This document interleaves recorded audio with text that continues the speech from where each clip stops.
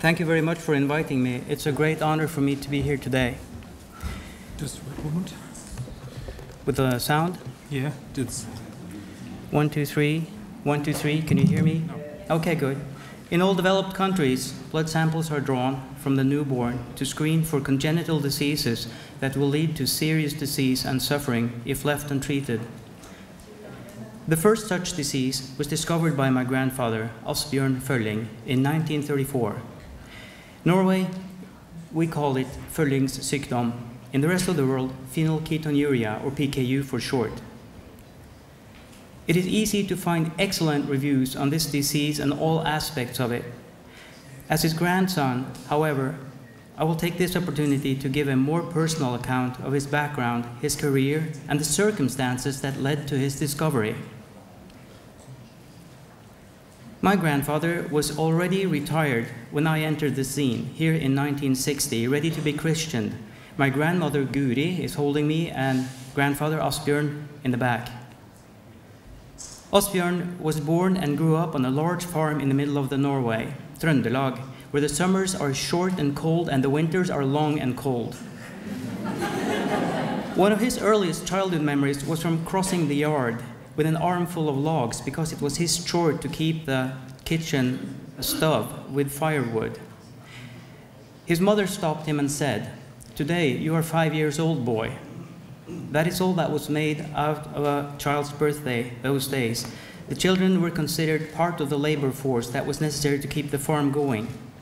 This was more than 120 years ago, as he was born on the 23rd of August in 1888. Being the youngest of seven, it was his job to be a shepherd all summer. In addition, he would help during the harvest. Maybe that's why he liked the winters the most, because that is when the children were allowed to go to school every second day. In a small schoolroom, all classes together. He cherished the old schoolmaster and enjoyed reading. Eventually, he would have read all the books in the school. And having thus proved himself, he was allowed to attend high school. That was most unusual for a peasant boy those days. The nearest high school, though, was in the city of Trondheim, so he would have to move. But every summer he came home and helped with harvest. That nearly cost him his life. He would cross the mountain on a self constructed bike, taking the shortest route following the railroad tracks. He followed them right through a tunnel when the train came, but fortunately he found a small recess and was left unscathed. The train was not the only danger, though. While uh, in Trondheim, he fell ill with tuberculosis. The doctor prescribed to go home and rest for a full year and added, You are welcome back to school next year, if you are alive, that is. He finished high school in good health.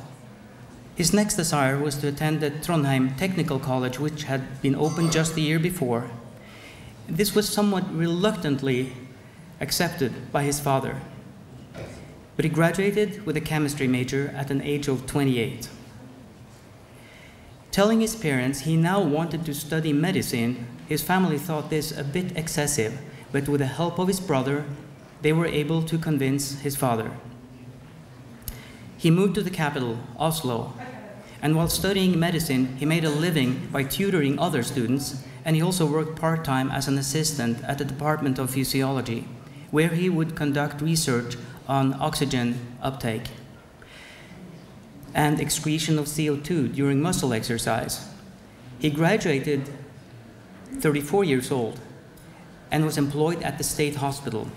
I know this is a bit many portrait photographs, but uh, about one every five years. That's all that was taken at those, those years. So this is all that exists. I hope it will pass. In 1926, he received a grant that allowed it, made it possible for him to go abroad, and he visited the US several times. He visited Johns Hopkins, Yale, Harvard, and he also spent some time at the Mayo Clinic. He was invited to participate in an expedition with biochemistry professor Lawrence Henderson, uh, originator of the Henderson-Hasselbalch equation, to study oxygen consumption at high altitude. This photograph is from a improvised lab in the Rocky Mountains. The time spent at Harvard and Mayo provided the foundation for his doctoral thesis, was, which was completed in Oslo. As a true scientist, and according to the standards of that era, he used himself as a test subject and reported. I felt a difficulty in breathing, nausea, and skin irritation after ingestion of ammonium chloride. In his thesis on mechanism of ammonium chloride acidosis, he demonstrated the kidney's ability to produce ammonium to rid the body of excess acid.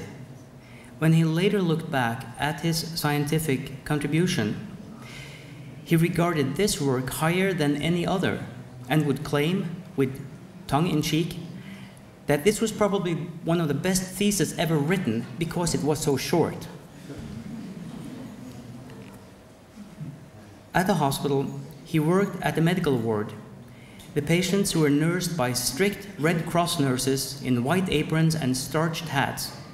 Grandfather had wanted to work with patients, with the people behind the diagnosis, like he would see his classmates from medical school do.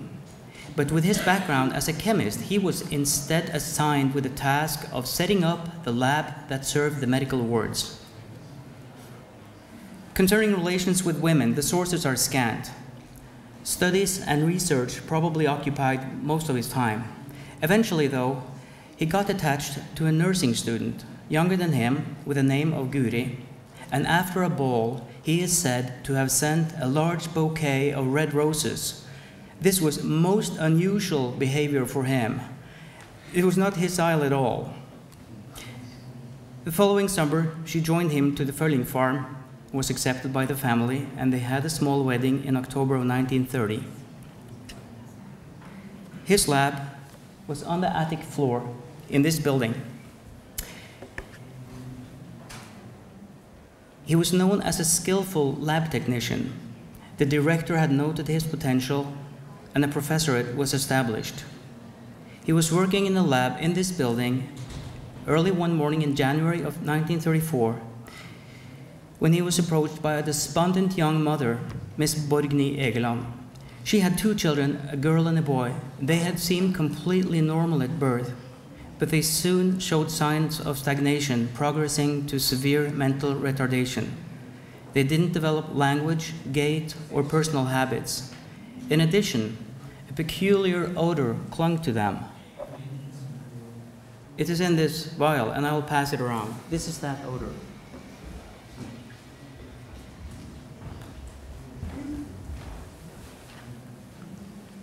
Their father, Harry, he was a dentist. He suffered from asthma, and his asthmatic attacks were aggravated by the children's odor. The young couple had already sought advice from numerous doctors, and their boy had been admitted to the National Hospital, but no one could explain or understand his condition. My grandfather had been one of Harry's teachers while at medical uh, at dental school, and the couple thought perhaps he, being a, both a chemist and a physician, might be able to find out what caused the strange odor. By that time, Asbjørn had destined himself to a course of laboratory medicine. He did not have clinical practice or see patients, but he would never turn down anyone asking his advice. He told the mother he could probably not be of much help, but he agreed to examine the children. Besides from the mental retardation, he did not find much apart from a somewhat stooping appearance, very fair skin, eczema, and constant restlessness. But the examination would not be complete without urine analysis. And because of the special odor, he suspected they might have a chronic infection of some sort. One of the routine urine analysis was Gerhardt's iron chloride reaction, a test used to detect diabetic ketoacidosis and certain other conditions of the urine. The historical action was to apply a few drops of iron chloride in the acidified urine. Iron chloride does not produce a color reaction in normal urine, but gives rise to a deep Bordeaux or mahogany color in diabetic patients with ketonuria. Salicylates and a few other drugs also produce this reddish color. Instead, the urine turned a strong bluish green. He had not seen anything similar before, nor had he seen it described. He repeated the reaction to make sure it was not a contamination, and again, the green color appeared. There was another thing left to sit. The green color started to fade within minutes and was almost gone within a quarter of an hour. His first question was Is this reproducible? He asked the mother to collect new urine samples once her children had been several days off medication, herbs, and other treatment that they received. She did, and this time the reaction was even stronger. He realized there might be an unknown uh, substance in the urine and determined to try and identify it.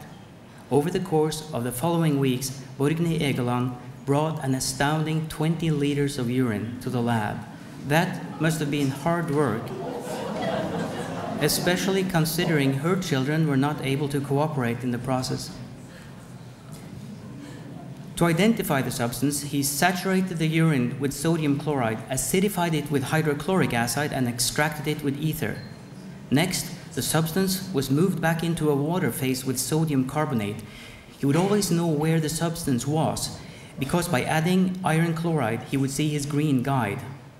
The extraction process was repeated several times, but as it went on, his green guide disappeared and he was left with a black spot in the bottom of the test tube.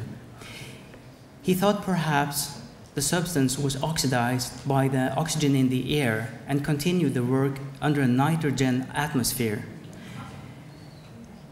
This time, the substance did not disappear, could be recrystallized, and after one month, he obtained neat crystals with a constant mel- melting point of 155 degrees centigrade, which is a probable sign of purity. Primary analysis determined the molecular weight of the crystals to correspond with the formula C9H8O3. When oxidized, it produced benzoic acid and oxalic acid. The acids were detected by distillation, and my grandfather would tell about his intense joy when he saw the characteristic needle crystals of benzoic acid gradually develop on the glass wall of the distillation column. After another two weeks, he had identified a compound as a benzene ring with a three carbon side chain. Could it possibly be phenyl pyruvate? He verified this by mixing it with a known source of phenyl pyruvate, and the melting point did not change. And that was the proof of the um, type of crystal. The discovery was published in the German journal Hoppe-Seyler's in 1934, um, also in a Norwegian journal, but it did not attract much attention. In his initial paper, here examined by my uncle, he writes We have found a metabolic disorder in these children that displays itself by excreting phenylpyruvate in their urine. And since I have never found phenylpyruvate in the urine of any other person, and it has not been described elsewhere, it is probable that there is a connection between the metabolic disorder and the mental retardation. What exactly was it that spurred him to go on? In the paper, he only states the urine assumes a transient deep green color following the addition of iron chloride. This appearance prompted me to further analysis of the urine. I believe it was a combination of his education and his personality that made the difference between what could easily have been a spurious observation and a true scientific discovery. He was working alone and with no grants during this period. He did have the advantage of his chemistry background, and in particular, because of his thesis paper, he was especially well versed in urinalysis. In addition, there was the human aspect. He must have been impressed with Borgny Egeland's persistence, and he must have pitied her family. Himself having a healthy three year old girl at home, who later was to be my mother. This was an intense period of hard work. And talking about hard work, once in his earlier life, when catching a ride with a farmer on the way home from school semester in Trondheim, the farmer asked him what he worked with. He told him he was studying at the university. Oh, I can see that from your clean hands that you are not working, the farmer replied. The next year, he was called to his second professorate, this time at the newly opened veterinary school. he spent 20 of his happiest working years here. He loved the atmosphere, which was a mixture of pioneering biology, medicine, agriculture, and teaching students. And this was also a place where he could keep working on his discovery. One question immediately begged itself could there be other mentally retarded children displaying phenyl pyruvate in their urine? To answer this, during the spring of 1934, he visited homes and clinics the, from the handicapped and collected urine samples from 430 children in the Oslo area. He found nine more patients with the exact same reaction to iron chloride. Now we had a total of 11. Among those 11, were four pairs of siblings, and three parent couples were close relatives. So the next question would be could this close relationship indicate a possible inheritance pattern? Even if the disease must be very uncommon in the general population, it was not at all uncommon in the institutions where one out of 60 patients had this reaction. To find out with more certainty, though, he needed more people or patients, and he collaborated with a professor in genetics and a medical student who was sent all around the country to collect urine. They eventually had 40 patients with a positive urine reaction, just enough to determine the inheritance pattern as autosomal recessive. It was a great satisfaction, of course, to have discovered a possible course of the disease in the Egeland children but this alone didn't help the patients, nor their families. Finding the inheritance pattern did, though, because that might help in, uh, in um, identify carriers and give genetic counseling. Regarding counseling, Asbjørn Følling, he was a man of great insight, and people would come to him for advice. He used to say one should not give a person advice without being asked. Me, however, was the exception. He gave me an unsolicited piece of advice that I will late remember, uh, forget. He had purchased a house on the south coast of Norway where he would spend the summers. And here I am sitting in this house between him and my grandmother. I had just learned to swim and was very proud to have made the 150 meters across the small bay where our summer house is located. My grandfather was not impressed at all, probably just very scared, and gave me a scolding that I will never forget. My friend who had been swimming with me, she got $5 for, for the same feat. the next challenge was to understand where does this phenyl pyruvate in the urine come from? What is the metabolic pathway gone wrong? There had to be some guesswork in, involved. Phenylalanine was a likely suspect. Normally, phenylalanine is hydroxylated to tyrosine, a precursor, precursor of other important molecules. However, what if there was a block in this conversion? The excess of phenylalanine might be deaminated to phenylpyruvic acid. Grandfather suspected his patients lacked the ability to metabolize phenylalanine, whereas normal persons could metabolize large amounts maybe carriers of the gene would be somewhere in between. So he set out to load potential subjects with phenylalanine, and of course started with himself. He was probably not too happy to discover that his own urine turned green when tested with the iron chloride. The possibility of being a carrier might have bothered him, so he next got permission to load a friend who showed the same reaction. Then he realized the body might not be able to handle the racemic mixture of L and D phenylalanine. L and D compounds have the same molecular form formula, but they are mirror images of each other and are, not, uh, and are handled differently by the body. So we ordered the purified L form from the United States. It was very expensive and had to be paid out from pocket. He reportedly dipped into the family savings to do this.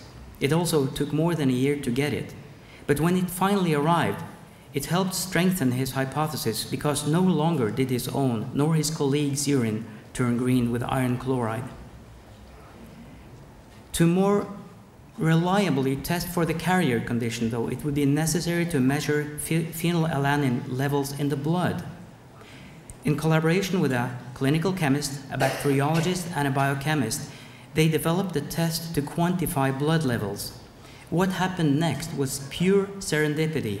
They were looking for a bioassay and thought they had read in a paper that the uh, regular bacteria, Proteus, might be able to deaminate phenylalanine. They tested it and were successful. On rereading the paper, they realized they had misread. Proteus was not expected to make this conversion, but in fact it did, and here they have the bioassay. And they were eventually able to determine that a specific oral loading dose of phenylalanine produced a significant difference in plasma levels between carriers and normal people. So, consequently, the question of genetic counseling could be answered with a clear yes. The logical next step would be to find a diet for the patients, almost free from phenylalanine. Asbjørn was deeply involved in this and managed to make a pri uh, primitive test diet. However, the first diets tasted real bad. It was difficult for the children to accept, and it was a burden on the family to prepare. The ingredients also were not in constant supply. In addition, it soon became evident that brain damage was irreversible within a few weeks after birth. The first successful diet was made by Horst Bickel in 1953 and my grandfather was happy to see the diet working in Bickel's patients. That story will be told later this afternoon. As he was free from call and weekend duty, grandfather was always come home from work punctually. A 42 year old first time father, probably he didn't roll around on the floor so much with his children, but he did take them on his lap to read, like he did with my sisters and me, about the three little pigs and the wolf, folk tales, and poetry, some of which he himself had written. Here the families gathered during Easter after the war in 1946. He had been he had a keen but a well-buried sense of humor, and he was a good storyteller. He was attracted by the philosophical authors. I've never seen as many books on Kierkegaard as when we cleaned up after uh, my grandmother and him and he loved the harmony of Greek art. He would write poems like this one, Ascent, penned into the visitor's book at our cabin one summer during the war. The poem describes climbing the mountain, but the underlying message is the war stricken country's ability to climb its way out through the terrors of war to new peace. A fellow professor has shared an anecdote that characterizes him very well. There was a scientific meeting in Boston. The train, in the train were several other scientists going to the same meeting. Full of enthusiasms, one of the passengers entertained his fellows by the story of the great discovery of phenylketonuria, which had been impressed him greatly. And during the conversation, it became clear that my grandfather was going to the same meeting and that he was also a Norwegian. So the first passenger asked, Perhaps you know Professor Følling? Whereupon my grandfather looked down into the floor and bashfully would say, I am him. Reluctantly, he left the School of Veterinary Medicine after 20 years because he was called back to the university hospital to organize a new clinical lab laboratory there. He accepted this because he felt he owed it to his medical background. He founded a school for medical technicians but when he retired in 58 at the age of 70, he once again went back to the vet school to spend his retirement years. In 1962, he received the Joseph P. Kennedy Jr. Award during a ceremony at the White House. This was the first time the award was presented. It is in memory of Joseph P. Kennedy Jr., who was killed in action during World War II, and is presented for research on mental retardation because one of the Kennedy children was afflicted by a similar disease. Typical for my grandfather's expectations, he had not recognized the full significance of the occasion and showed up in his gray woolen suit. From the Kennedy Foundation, he received this crystal piece with the, great Seraph Raphael, mightiest of angels, patrons of science and healing, engraved on it. It still adorns the mantelpiece in my mother's home. Asbjørn later received several honors and medals, both in Norway and abroad. The one he cherished the most, though, was the Order of St. Blasius from the veterinary students because it was presented for friendship and for good teaching. However, it is said what touched him more than this, though, was a telegram from Borgny Egeland, without whom his science would never have been placed on this track. She is the one who started it, and the first gratitude is due to her. In his retirement years, grandfather would still write, teach, and think.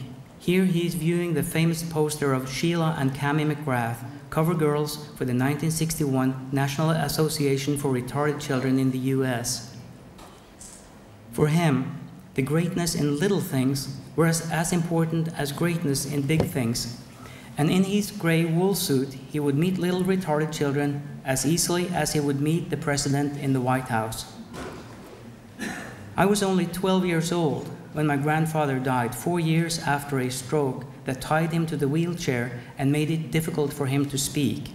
As other young boys, I dreamed about a big yellow truck for my birthday, or maybe a rocket.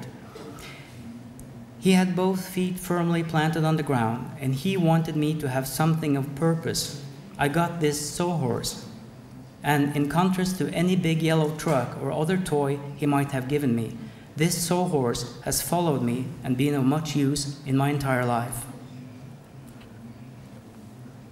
In many ways, he was a visionary, seeing possibilities. He saw opportunities and new knowledge, and this may explain why he broke the family tradition and became an academic. He also saw the woes of the future. Already in the 20s, he worried about exploitation of the soil and overpopulation, and he would write about pollution and the sh shortage of scarce uh, elements like, um, like phosphorus. And he was concerned about our lacking ability to renounce. He felt much responsibility for the wor world. He was a very humble man. He didn't like the slogan, knowledge is power, but rather say, knowledge is humbleness. Asbjørn died in 1973, 84 years old. He had felt his abilities and strength decrease and thought his mission fulfilled. He was humbly thankful for the possibility of being a doctor and a scientist, a tool in the hands of the Creator. He appreciated life, but without fear for death. When my mother asked him on his deathbed if he was afraid of dying, after a pause, he replied, No, but I assume it will be a great change. And those were his final words. Looking back 80 years after the discovery of PKU, we can acknowledge that good science can be performed by a single individual with limited resources and even without grants. Some advances will always have to be costly, whereas others stand right in front of us, waiting for us to stumble upon them. It only requires us to keep our eyes open as we stumble. Thank you.